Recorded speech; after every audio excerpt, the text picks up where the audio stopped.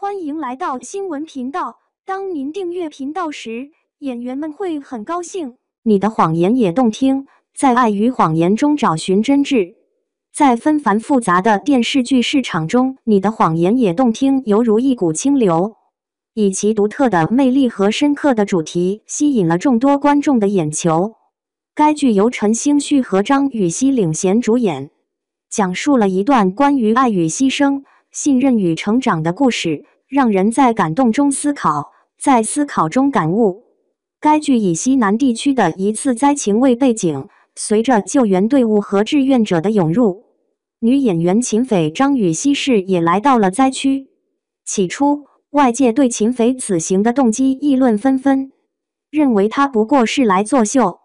然而，秦斐却用实际行动证明了自己的诚意和决心。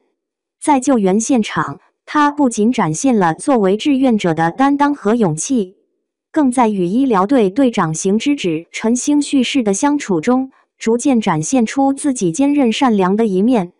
陈星旭饰演的邢之芷，作为医疗队队长，他外表温暖，内心却有着不为人知的复杂情绪。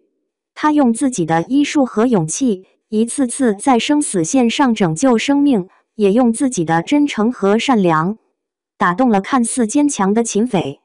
两人在救援现场的朝夕相处中，从陌生到相互依赖，再到最后的深情告白，每一个瞬间都让人感动不已。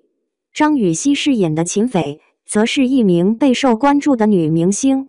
她曾因舞蹈梦想而努力奋斗，却在国外比赛时遭遇意外，导致舞蹈梦碎。性格愤世嫉俗、嫉恶如仇的他，内心却善良而耿直。在灾区，他放下了明星的光环，用实际行动证明了自己的价值。与行之止的相遇，更是让他找到了生命中的真爱。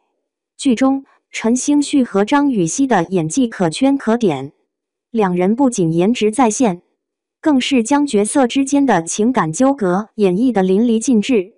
从最初的陌生到相互扶持，再到最后的深情相拥，每一个细节都处理得恰到好处。尤其是两人在救援现场的互动，更是让人感受到了生死考验中的真挚情感。除了主演们的精彩表现外，《你的谎言》也动听的剧情也值得一提。该剧以灾情为背景，却不仅仅局限于救援和灾难的描绘。而是通过秦斐和行之芷的爱情故事，深刻探讨了信任、爱与牺牲的价值。在救援现场，他们彼此扶持，共同面对生死考验。这份真挚的情感让人看到了人性中最美好的一面。剧中还有许多令人难忘的情节，比如秦斐在救援现场不顾自身安危救人，展现出坚韧和善良的一面。